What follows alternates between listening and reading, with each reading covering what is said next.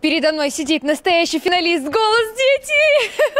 Давай, где твоя радость? Давай, вот покажи, насколько ты счастлив. Ура!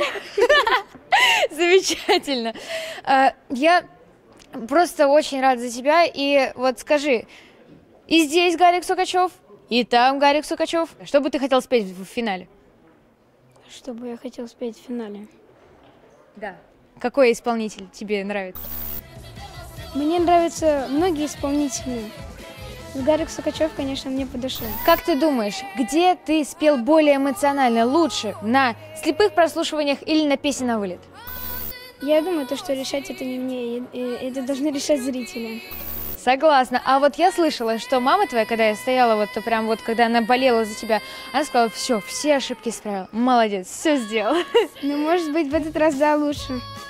Какие советы тебе помогли а, от Пелагеи, от наставника твоего?